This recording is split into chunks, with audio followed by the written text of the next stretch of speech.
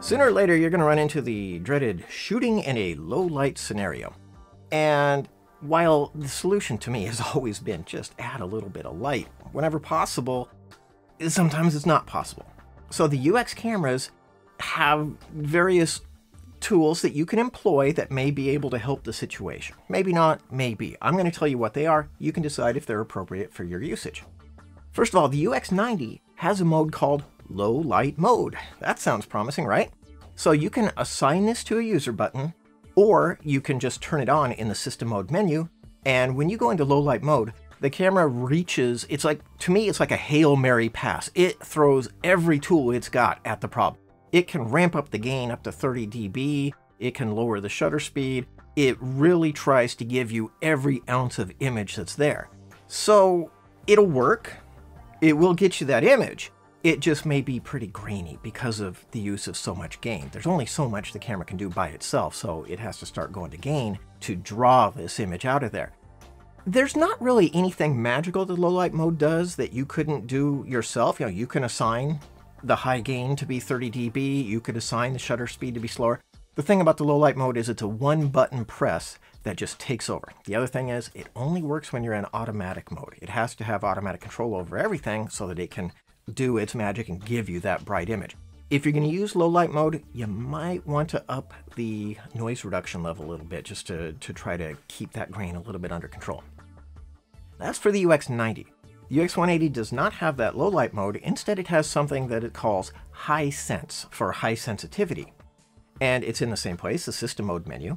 And high sense, what that basically does is it adds about 6 dB worth of gain, so one f-stop brighter, and then simultaneously it employs a little bit of noise reduction to cancel out the additional grain that was caused by adding the gain. So when you turn high sense mode on, it's like your camera becomes twice as sensitive while having a roughly comparable level of grain. So that's pretty cool. The high sense mode works pretty well. The only thing I'm going to say about it is there's a reason why you don't want to leave it on all the time, and that's because sometimes you're not shooting in low light scenarios. And so when you're in adequate light, bright light, outdoors maybe, you don't really want the camera sensitivity to be up to 1000 ISO. UX180 is about 500 ISO native sensitivity. In high sense, it goes to about 1000.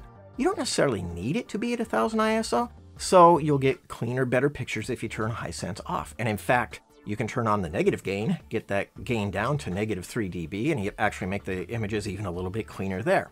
So high sense mode is great for indoors if you need it. Outdoors, probably wouldn't do it there.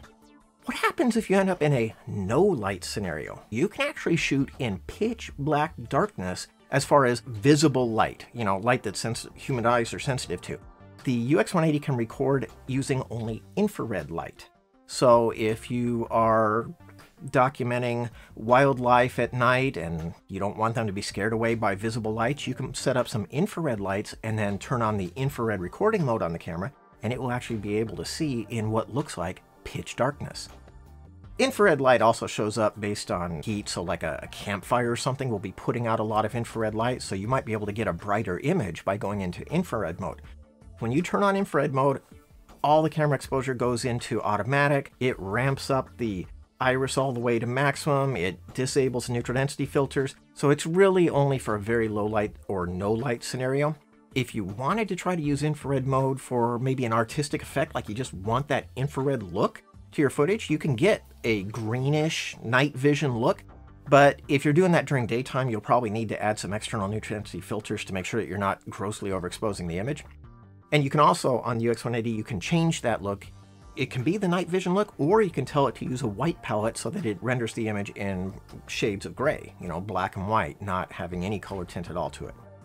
So, there's three different methods you can use, depending on which camera you have, to approach low light scenarios.